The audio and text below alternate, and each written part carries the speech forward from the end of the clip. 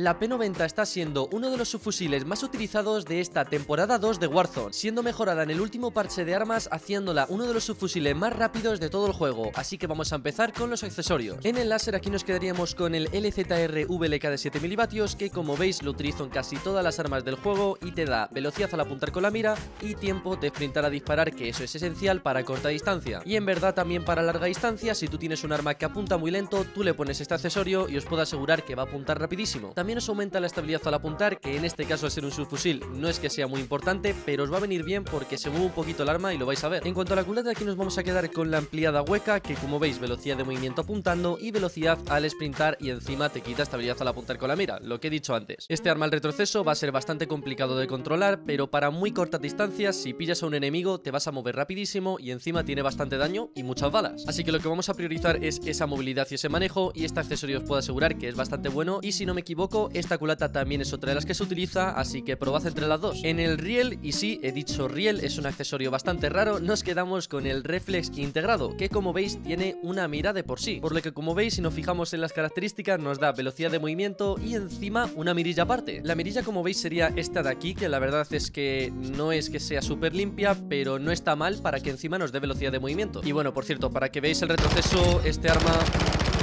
se mueve bastante, como veis es complicado. He visto mucha gente también utilizando este segundo riel, pero en este caso es que la mira de la P90 yo personalmente no la soporto, así que haría falta una reflex. En puñadura trasera aquí la Bruen Q900, que como veis, tiempo de sprintar a disparar y velocidad al apuntar con la mira, por lo que este arma es que ya lo he dicho antes, que en cuanto a movilidad va a ser una bestialidad y en cuanto a manejo igual, pero el retroceso es que es complicado. Sé que ya lo he comentado, lo sé, pero es que insisto porque luego hay mucha gente que me va a decir, este arma se mueve como un tractor. Pues lo he explicado varias veces, se mueve mucho, pero va bien. Y en el peine, evidentemente, otro accesorio que nos aumente manejo, en este caso tiempo de sprintar a disparar y velocidad al apuntar con la mira. Y si lo hemos aumentado en casi todos los accesorios literalmente, pues imaginaros cómo va a apuntar este arma, rapidísimo. Esto nos va a quitar velocidad de movimiento apuntando, que si no me equivoco ya lo hemos aumentado con varios accesorios, y estabilidad al apuntar, pero no os preocupéis, ya lo sabemos todos que se va a mover igual. Pasamos con los ajustes, pero recuerda, muy importante, llegar al nivel máximo del arma para poder ajustar cada accesorio, porque si no, no vas a poder ajustarlos. En este caso sería nivel 30 y ya podrías tener esta opción desbloqueada. Así que te enseño mi configuración muy rápidamente, donde en el láser menos 0,3 en tiempo de sprintar a disparar